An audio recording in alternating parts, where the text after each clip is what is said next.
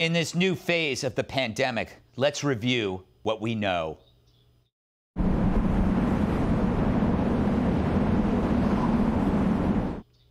It's true, we don't know Jack. And it's not our fault. After all, it's called a novel virus. It's novel and it's a virus, which means we can't even see what we're talking about. It's as invisible to us as truth is to CNN, which makes it scary. How scary? Well, the New York Times just did a piece on quarantining with a ghost. Yeah, rather than focused on real stuff, they covered unexplained activities during house arrest shaking window shades, rattling doorknobs, cold water in the shower, and Joe Biden in the basement. Of course, sometimes houses creak and plumbing acts weird, but that's my post burrito stomach, not a story. So it's got to be a ghost. Oh, yes, the light flickered. Must be a ghost. I put my house keys away, but now they're on the floor. Must be a ghost. Not the fact that I've been drinking all day and everything's on the floor, including me. Now, I'm not saying ghosts don't exist. Look what I found in my sock drawer. Arf, arf, arf, arf, you know? Look, I get it. If the most likely explanation for something, i.e., the truth, doesn't grab you, there's no story. A ghost is so much more fun than not a ghost. Who cares if it's false? The only thing missing, though, is gender or race. I anticipate a follow up piece with old white sexist ghosts. You know, I swear I saw a ghost and he kept checking out my breasts. Or worse, the ghost didn't actually call me a racist name, but I could tell he voted for Trump. Why can't ghosts be racist or sexist? Aren't we already, according to the media? We don't need a pulse to be hateful. See Donald Trump, who once again blamed China for the virus. You've said many times that the U.S. is doing far better than any other country when it comes to testing. Yes. Why does that matter? Why is this a global competition to you if every day Americans are still losing their lives and we're still seeing more cases every day? Well, they're losing their lives everywhere in the world. And maybe that's a question you should ask China. Why Are you saying that to me specifically? I'm telling you, I'm not saying it specifically to anybody. I'm saying it to anybody that would ask a nasty question That's like that. I love it. You know where this went. What we saw in that exchange with Weijia Jiang is something that has racial overtones. Uh, it is racist to look at an Asian American White House correspondent and say, ask China. So, for the Pillsbury doughboy to believe his own droppings, he has to pretend the last four years of this didn't exist. China. China. China. China. China. China. China. China. And look, it came out of China. Okay? How did Brian miss that? Well, with the exception of meals, he misses a lot of things. You want a pattern of behavior? Here he is claiming the right obsesses over Russia. It's so disappointing to look at what we're seeing from right wing media these days, where there's such an obsession with the deep state and these uh, revelations about the Russia probe. So disappointed. Again, for him to say that without puking, he must ignore this. What does Putin have on Trump? Has Trump been compromised? This is the letter of intent for the proposed Trump Tower Moscow. Some serious people in and out of government asking whether a U.S. president might be some kind of unwitting or witting Russian asset. Whether the president of the United States is an agent of a foreign power. We all know the president's no collusion, no obstruction mantra. We know it's false. Do you still believe the president could be a Russian asset? I think it's possible. Oh man, when CNN says you're obsessed, it's like a drunk saying that your breath smells of rum. Their success relies on no one else having a short term memory. Here's Chris Cuomo blaming Fox for future deaths. Everyone around him has a mask on. Now, he doesn't because he wants to keep up the Fox farce, this BS that COVID 19 is overrated. I guess the anti elitists over there are okay with 10,000 more dead. So, how does this bozo get away with that? I think he hopes you forgot about the thousands of real deaths in rest homes which happened under his brother's watch. During that travesty, what did Chris ask his bro?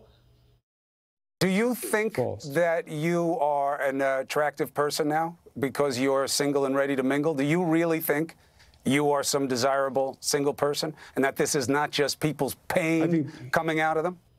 You know, I hate rehashing this, But when that jerk tries to lay 10,000 dead future bodies on us, we got to show you that the dead already exists. And it hits a little closer to his home for Chris than he'd like to admit. So, how do you respond when someone accuses you of wanting death just because you want to feed your family by getting back to work? Just say this if you want us to stay inside, you must really love spousal abuse. Because domestic violence, according to the Times, is surging under the shutdown. Is it true that you'd like to see more abused spouses, Chris? It sounds absurd, because it is. But that's how the media smears you. Plus, they always have the answers, but only after the fact, which makes me wonder where the hell were you guys back when this pandemic started? Why did you hold out on us? It's criminal that you had the answer key, kept it hidden until after all this death. Fact is, anyone who says they know is full of it. Not just the media, but experts too. They got so many things wrong masks, shutting down travel, ventilators, sending contagious people to rest homes. But if no one knows anything, you might as well invite anyone to discuss a pandemic. CNN had Greta Thunberg on a virus special, maybe because they put more value on her cool words than the actual virus briefings. They skipped. Greta call, uh, cited the importance of science, a straw man argument since who's not pro science, and then she linked it to her crusade climate. Apparently, she pledged 100 grand to UNICEF, which is awesome. Damn, when I was 17, all I had was a BB gun and a stack of swanks that I stored in a tree. If this is a trend for CNN, I can't wait to see who they choose for future specials. The 2020 election with Greta Thunberg. Race in America with Greta Thunberg. Are ghosts real with Greta Thunberg? But you know, they could do worse. Have you seen their nightly lineup? It's a strange thing how they keep trying to make this pandemic political. You can't blame Trump for that. First, he shut down the economy, then he doled out trillions. Now he's desperate to reopen. What political side is that? He's all over the place, just like America. Here's how you know this new red versus blue division is bogus. The media can't figure out how to cover the states. They want to find failure in red states and gloat, and successes in blue states and cheer. But so far, that's not happening. Also, the right tends to be risk averse. The left, it's the opposite. Yet those who want to go back to work are portrayed as right wing, and, scold, and those scolding us to stay in indefinitely aren't. So the script is flipped, meaning it's not right versus left. Instead, it's media versus Trump. Whatever he's for, they have to be against. At least you're different, smarter, you get it. In a world in which we face something we've never faced, we're lucky. We have 50 experiments going on at once, and each experiment can run a dozen more. Each state can try out a plan. Some might do great, some might not, but we can compare and contrast. It's genius without trying. It's exactly what you would do if you don't have the right answer yet. Idiots would prefer one date for the whole country to go back, which is like placing all your chips on one number on roulette. It feels great if you win, but you likely lose your shirt. And here, shirts equal lives. As opposed to the 50 state route, it's like your 401k. It's not all one stock, it's a portfolio to hedge against risk. It's smart and unavoidable. And we're going to learn a lot. We're going to finally see the truths that have eluded us these past months. No more ghosts. It'll just be brave Americans getting up and going to work and protecting each other the best they can with simple consideration and the kind of common sense that elected Trump over Hillary. It's the great American challenge of your lifetime. I think we're ready. Period. Let's welcome tonight's guests. You can't lose when he talks news. Washington Times opinion editor, Fox News contributor Charlie Hurt. He's got more singles than a strip club ATM. Singer, songwriter, host of The Pursuit on Fox Nation, John Rich. She's as fiery as she is wiry. Host of Sincerely Kat on Fox Nation, Kat Timpf. And every boat he's on becomes a submarine. My massive sidekick and host of Nuff Said on Fox Nation, Tyrus. All right. Charles, welcome back. What do you think of the shame and blame game you see among the media?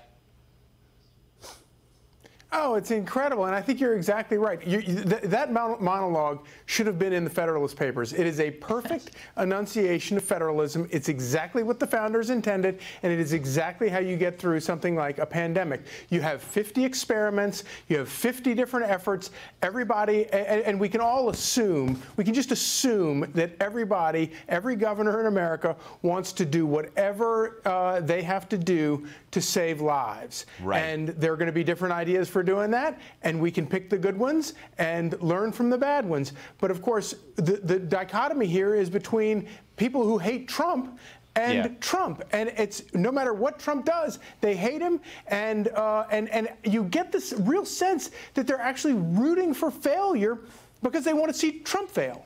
Exactly. You know, John, if you want to reopen your restaurant or ba- a bar, people are going to say you want people to die. That's how they reason. Yeah, I actually had a tweet that said that to me today because we reopened uh, Redneck Riviera here in Nashville, of course, right along with state guidelines, city guidelines.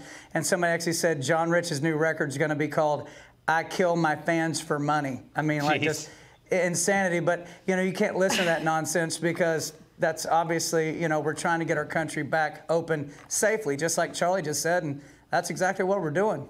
Yeah. And Kat, you know, no one knows when to open, and no one knows, like, it, it- are we too early or too late? There's no exact date. The only way to do is to find out with these 50 openings and see the interaction between the states and the virus. That's what we have to do, right?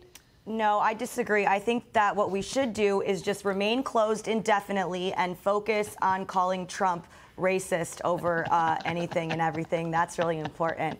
Uh, right? No, especially a situation like this, right? Where I'm so glad that you brought that up in your monologue because China has been covering up the severity of its coronavirus uh, crisis for a while now, right? Right. And why do people cover things up to make themselves look better? What is it to make yourself look better? It's to engage in competition. Okay? Yeah. That's clearly what he meant. You don't need a PhD in social justice to figure that out. You need a dictionary and the ability to read.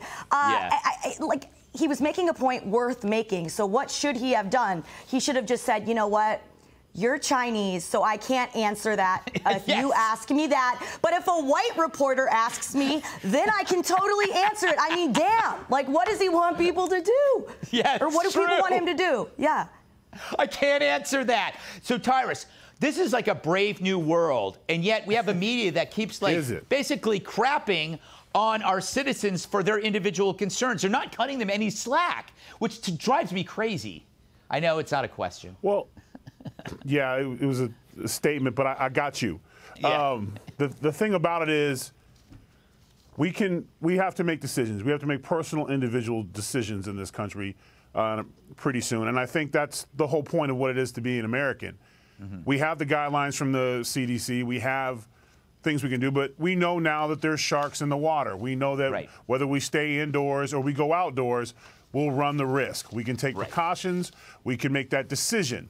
But we need to be allowed to make that decision. If Yes. if a man wants to open up his restaurant under those guidelines, and I decide to go to his restaurant because I'm following my guidelines and I want to take that chance, yeah, that should be there should be no argument for that. That should be fine. We know what's going on. It's just whenever they try to make medicine, science, political, it never works. And this Yeah. is where people are making their own decisions, and that's what it's all about.